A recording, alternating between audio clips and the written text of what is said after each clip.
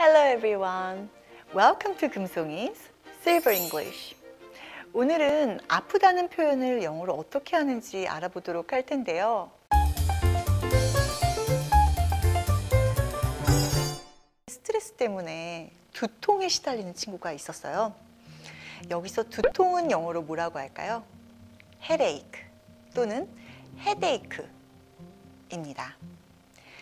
머리가 아플 때 에이쿠 머리야 에이쿠 이러시잖아요. 이 에이쿠랑 비슷합니다.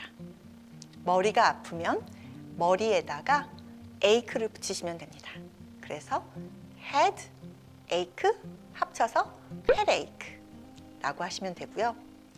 배가 아프면 아이고 배야 에이쿠 이렇게 얘기하잖아요. 그래서 배를 먼저 얘기하고 에이크를 붙여주시면 됩니다. 배는 stomach 그래서 복통은 stomach ache입니다. 또 등이 아프면 등에다가 ache를 붙여주시면 됩니다. back ache, back ache라고 하시면 되고요. 치통 뭐라고 할까요? 치아는 tooth입니다.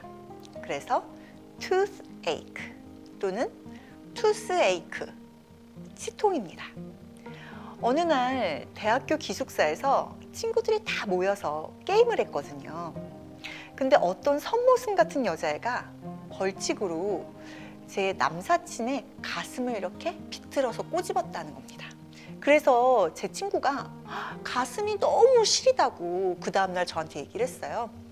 그래서 이 남사친이 친구들 앞에서 가슴을 꼬집히니까 자존심도 상하고 우울하고 머리도 아프고 가슴이 시려서 학교에 상담을 하러 가야겠다고 했습니다. 우울하다는 영어로 depressed 또는 depressed입니다.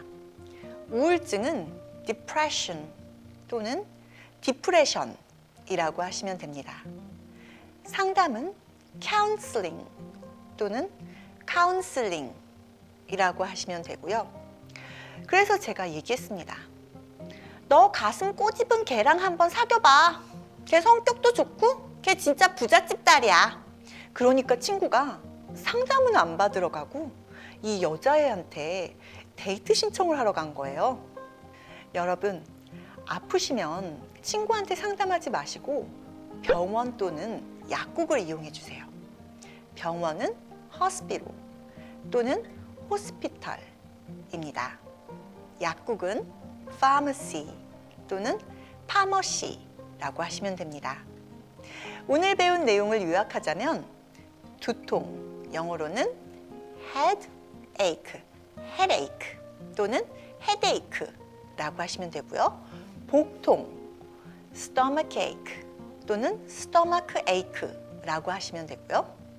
요통, 허리 통증은 backache 또는 backache 라고 하시면 됩니다.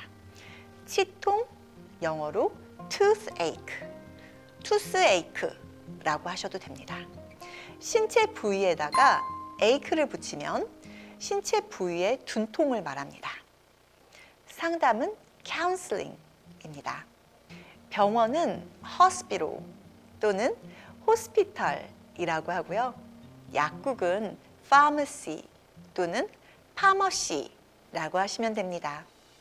여러분, 100세 시대 아프지 말고 건강하고 행복하세요. Please take care of yourself. See you next time.